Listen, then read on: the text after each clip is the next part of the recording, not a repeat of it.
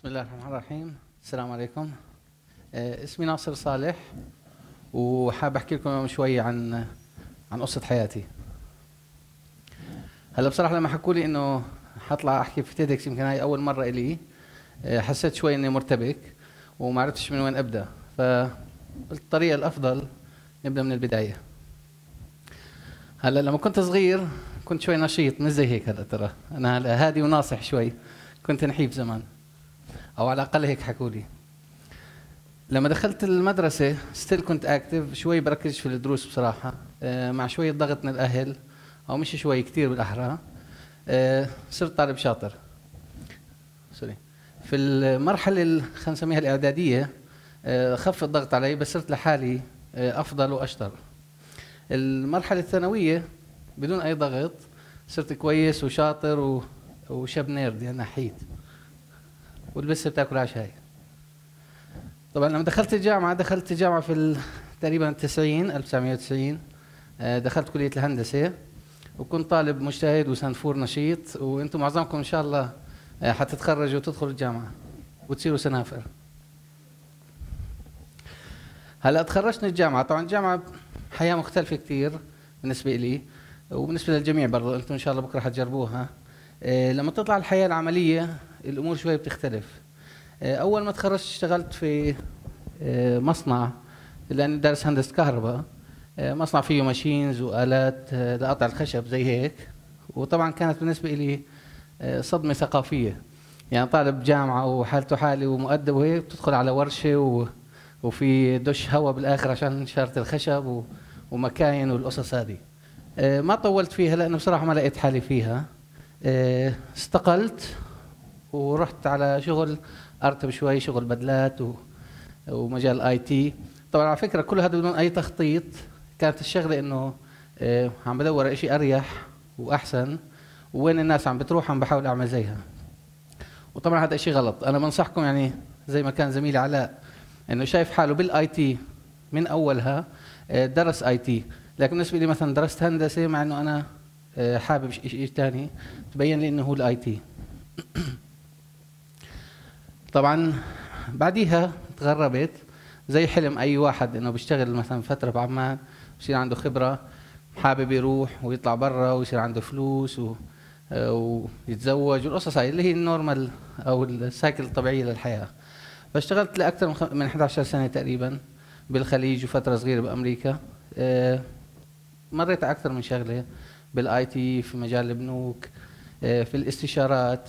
طبعا استفدت منها كثير والخبرة كانت بصراحة كثير ممتازة آه، لكن كان دائما حاسس إنه في شيء ناقص اللي هو إنه أنا دائما كنت بحكي كثير في موضوع إنه الواحد ما في أحسن يشتغل شغله الخاص أو يفتح his own business زي ما بيحكوا يكون مدير نفسه وحر نفسه. طبعا كان كله تنظير دائما آه، كنت أحكي كثير عن أصحابي وأقول لهم ما في أحسن من العمل الخاص مرت السنوات وأنا بضلني أحكي كثير عن الموضوع. وبدون أي جرأة إني آخذ قرار فعلا إني أبدأ هيك شغلة. هلأ شفت كثير حتى في حياتي العملية وأنا متردد وبفكر من الناس اللي كنت أنصحهم وحتى من غير ما كنت أنصحهم. فتحوا بزنس وتغلبوا وتبهدلوا أولها. لكن بالنهاية وصلوا لمرحلة معظمهم ما شاء الله إنه صار عندهم شركات وصار آه، الشغلة اللي بحبها عم بيشتغل فيها ونجح مع كل الصعوبات اللي مرت فيه. بس بالنسبة لي كنت لسه بستنى الفرصة المناسبة اللي هي مش عارفة إمتى حتيجي. فدورت كثير على المشكلة طلعت مشكلة بصراحة في أنا إني ما عندي إرادة وثقة إنه الواحد بيقدر يبدأ شغله ويجرب ويخاطر. فصارت عندي لحظة آه، خطرة يعني بصراحة كنت حاسس حالي إنه بهالفترة التردد هاي الصغيرة صرت متزوج وعندي أربع بنات والبنت الكبيرة هلأ قربت تدخل على الجامعة كمان مش مبين علي يمكن. بس وعم بكبر. وستيل وستيل عم بستنى الفرصة المناسبة. هلا لما آه، رجعت على عمان تركت الخليج آه، صح لي فرصة عمل برضه وظيفة مرة ثانية ووظيفة بصراحة كانت ممتازة كثير شركة أجنبية آه، راتب عالي وعايش في بلدك بالآخر ومرتاح. بس still برضه مش الشغلة اللي أنا مآمن فيها الشغل عملك الخاص.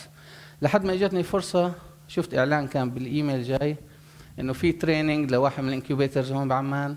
آه، بتعرض فكرتك بيعطيك free training وبيعطيك فرصة إذا عجبتهم الفكرة إنه يستضيفوك أو يعملوا لك incubation ويدعموك فيها. قدمت لها طبعا وقدمت لها بالفكرة اللي أنا بصراحة كنت طول هالسنوات الماضية اللي بشتغل حسيت حالي أكثر في ال e-payments الدفعات الالكترونيه لأنها شغلة بحسها بتأثر كثير على حياتنا اليومية. يعني كنا عندنا دفع. يمكن هلأ الطلاب ما عم بتدفعوا أهاليكم عم بيدفعوا. بس بكرة حتيجي يوم حتصيروا أنتم تدفعوا. تدفع فواتير تليفونات مي كهرباء أقساط مدرسة أقساط جامعة. فهي بتمس حياتنا كلنا في المجتمع وشغلة أنا بحبها كثير. قدمت في هاي الفكرة ودخلت في ال training ودخلت كل مراحل الاختيار وال selection واختاروني. بس كان في تحدي واللي هي الفرصة اللي بضلني احكي عنها دائما اللي بستناها وما إجت. إنه وافقوا علي بس لازم أستقيل وأترك شغلي. وطبعا عندي التزام عائلي وأطفال وبدي أربيهم. المشكلة إنه بيعطوك funding أو بسموه seed funding اللي هو دعم مادي مبدئي بكفيني من ثلاثة أشهر لاربعة أشهر. وبصراحة لو واحد مصرفي زيي يمكن ما يكفي شهرين. بس يعني مع الضغط ممكن يكفيك ثلاث أربع أشهر. هون بصراحة كانت المرحلة الحاسمة اللي هي tipping it صار عندي نوع من أنواع الربيع العربي الداخلي فثرت على نفسي وطبعا ما طلبت إسقاط حدا بس طلبت إسقاط ترددي واستقلت وبلشت ال business. هذا الحكي مش من سنوات على فكرة هذا الحكي من ست أو سبعة أشهر تقريبا. فمن سبعة أشهر أخذت الخطوة واستقلت وصدقوني أصعب شغلة هي اتخاذ القرار. بس بعد ما تاخذوا القرار بتلاقوا الأمور كلها صارت سهلة. مش سهلة كثير بس بتلاقوها يعني أسهل. هلا بديت بواحد الحمد لله. إحنا اليوم 10 موظفين وصار معنا مستثمرين من الأردن ومن الخليج ومتوقعين نوصل ل 20 واحد إن شاء الله خلال السنة هاي. صار رأس مال الشركة تقريبا نص مليون دولار. وبنتوقع إن شاء الله إنه اللي أهم من رأس مال والمستثمرين والموظفين ولو إنها شغلة مهمة إنه حنأثر في حياتنا وحياتكم. إنه حصير الدفعات تبعتكم تكون أسهل إن شاء الله من ابتداء من الأشهر الجاي. هلا الدروس اللي تعلمتها بصراحة وحاب أشارككم فيها لأنها كثير أثرت فيي إنه أنا بلشت فترة اللي بسموها الأزمة العالمية يعني كل الظروف مش مناسبة. آه، كان بامكاني أبدأ فترات دائما أحسن كانت بس مع ذلك لما إجت اللحظة هاي إجت في لحظة كان السوق كله ميت أصلا ماليا. ومع ذلك نجحت الحمد لله ومشيت. فهذا وصلني لنتيجة إنه بالنهاية الواحد إذا بيعمل الشغلة اللي مآمنها صح وبتوكل على الله صح حينجح فيها. اثنين إذا الشغلة أنت مآمن فيها وحاببها وما عملتها حتضلك طول عمرك ندمان عليها إنه يا ريتني عملتها. وهي كانت آخر شغلة يمكن حكى لي إياها مديري السابق قبل ما استقيل لما سألته هو عمره ما شاء الله 69 سنة يعني ختيار. قال لي إذا بضلك تتردد حيتوصل يعني زي حالتي شعرك شايب وعمرك 69 70 وأنت بتقول يا ريتني جربت. فالشغلة تعلمتها إنه إذا شغلة بتآمن فيها ومقتنع إنها صح جربها. اثنين يعني آه، مهما كانت الوظيفة كويسة أنا مش بدعو ترى للشباب اللي بيشتغلوا يستقيلوا. مهما كانت الوظيفة كويسة بضل اسمها وظيفة حلوة لفترة محدودة تتعلم وتستفيد وتاخذ خبرة بس بتضلها وظيفة. ومشكلتها مهما عليت فيها حتى لو بتصير مدير عام آه، فيها نوع من أنواع العبودية. ما يزعلوا منا الشركات وأصحاب الشركات. النوع العبودية ليش؟ انه بدك تطلع إجازة بدك موافقة مديرك بدك تتحرك بدك موافقة مديرك. بدك تعمل أي شغلة فكرة مآمن فيها ممكن مديرك يقتنع فيها وممكن لا. ففيها نوع من أنواع العبودية زي ما بيحكي الدكتور طارق سويدان.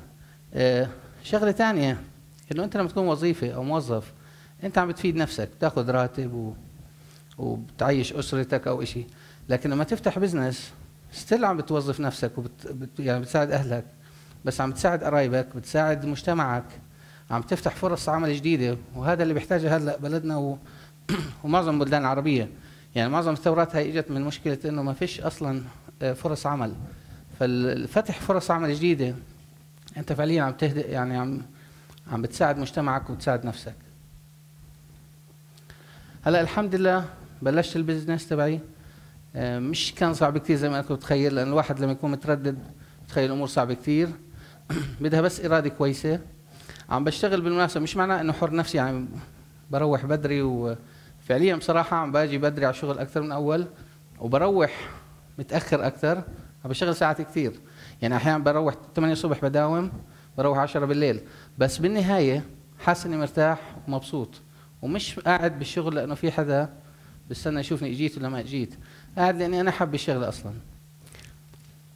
ومع كل اللي شفتوه عني وترددي وزي ما قلت لكم مرقت سنوات وأنا بفكر. فإذا أنا بكل ترددي قدرت أعملها أكيد أنتم بتعملوها إن شاء الله وبتقدروا تعملوها. خاصة أنتم جيل جديد ما شاء الله آه، عنده إرادة أقوى. هذا اللي شفناه بالربيع العربي. واثنين ال ال ال ال culture هلأ ال culture عم بيصير في البلدان العربية. culture بتساعد خاصه في الأردن عم بتساعد على فتح business خاص. يعني في كثير initiatives بدون ما أذكر أسمائها آه، بترعى الأفكار الكويسة وبتساعدها. إنها تبدأ وتنشأ. أيامنا لما كنا مثلا تخرجنا من الجامعة ما كان في هيك شغلات. وفي شغلة مهمة مذكورة في معظم الأديان كل الأديان وآخرها في القرآن. قاعدة ربانية حلوة. إذا بتحطها قدام عينك تحطوها قدام عينيكم ما يعني إن شاء الله بتعطيكم الطاقة إنكم تبدأوا. ومن يريد ثواب الدنيا نؤتيه منها. يعني هذا شرط رباني اللي بدور على شغلة وبحط إرادته فيها حيوصلها.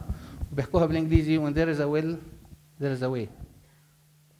Thank you